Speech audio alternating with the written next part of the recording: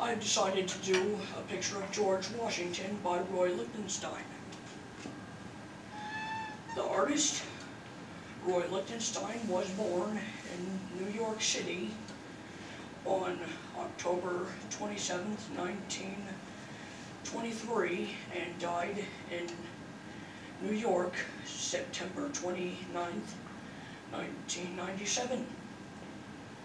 He started taking art classes when he was a teenager.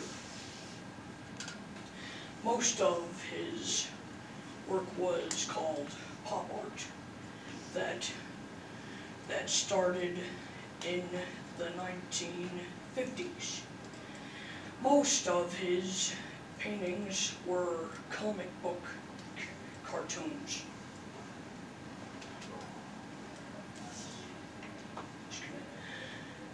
The artwork, he painted George Washington in 1962.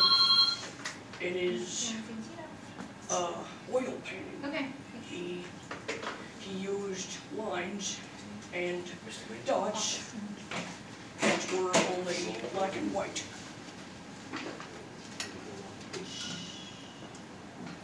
The wise, he painted George Washington this way because he wanted the painting to look just like President Washington's picture on the dollar bill. I chose this painting because Washington was first to take office in the White House.